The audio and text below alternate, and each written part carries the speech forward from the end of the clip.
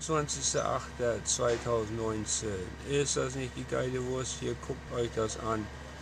Und gestern waren die Dödels vom Schornstein da. Ich sage ja, es bringt alles nichts, denn wir hatten gestern Abend schon fieses Brandgeruch. Ihr seht's ja, das ist der Hit hier.